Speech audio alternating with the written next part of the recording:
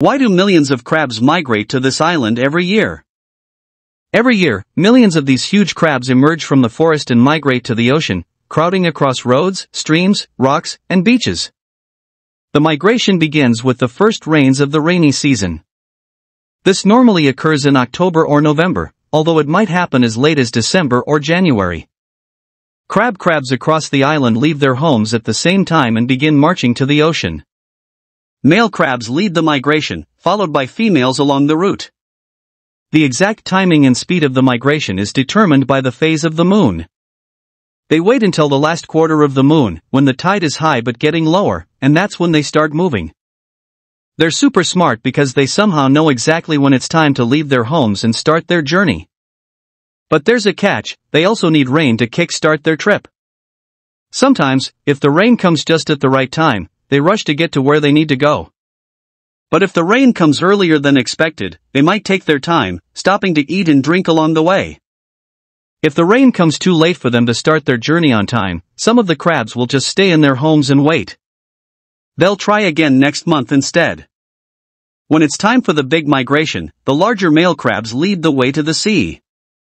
But once they get there, they're outnumbered by the females. After their long and tiring journey from the high plateau where they live, the crabs take a quick dip in the sea to get some moisture back, back into their bodies.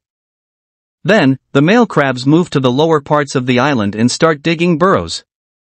There are so many crabs that the burrows are really close together, and the males often get into fights to claim their own spot. After a while, the female crabs join the males on the lower parts of the island, and they mate either in the burrows or nearby. Once the mating is done, the male crabs take another quick dip in the sea before they start their journey back home. The female crabs stay in the wet burrows. They lay eggs within three days after mating and will stay in the burrows for around two weeks while the eggs mature. Each female crab can produce up to 100,000 eggs, which she keeps in a brood pouch. When the moon is almost finished shining its light, crabs with eggs inside them come out of their holes. They gather together on the beach, finding shady spots where the land and water meet. In some areas you might see up to 100 crabs per square meter of beach or rock. When the tide starts to change before the sun comes up, the crabs go into the ocean and lay their eggs. Then, they go back to the forest.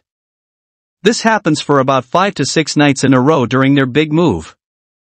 The eggs the crabs lay hatch into tiny baby crabs as soon as they touch the water. Lots of these baby crabs swirl around near the shore before the waves and the tide carry them out to sea.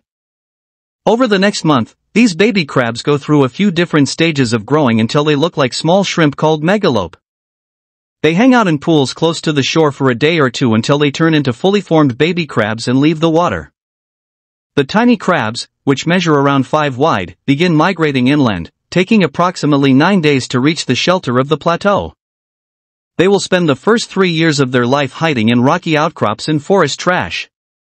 The vast majority of larvae, however, never make it out of the water. Instead, they are eaten by fish, manta rays, and the huge whale sharks that visit Christmas Island to take advantage of this annual feast.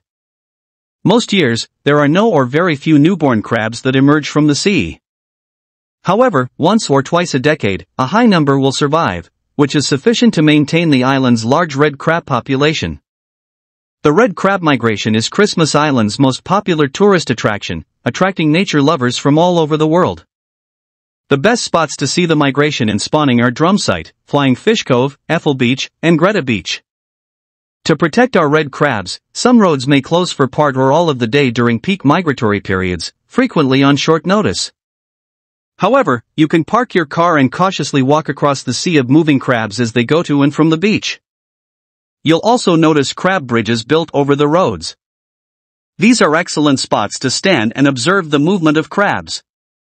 Peak notice boards and local radio provide updates on crab movements during the migration.